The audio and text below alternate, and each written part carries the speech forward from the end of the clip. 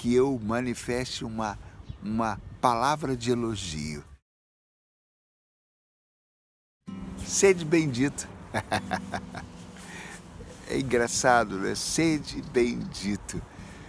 Deus já é uma bênção. Deus já é bendito. Deus já é aquele que todos admiram, esperam, desejam, contemplam, falam.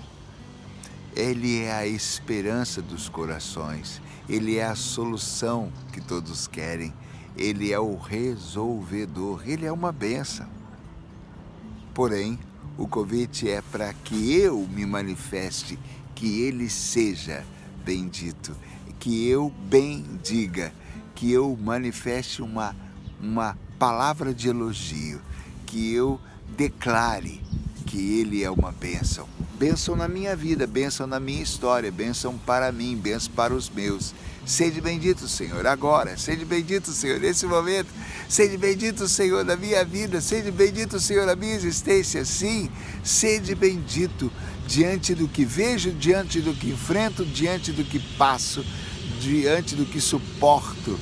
Os ruídos, as lutas, as iniciativas. Sede bendito, meu Senhor, em todo tempo.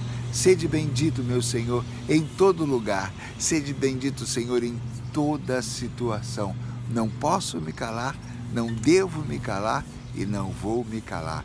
Que o Senhor seja bendito agora e em todas as circunstâncias da nossa existência, para todo sempre.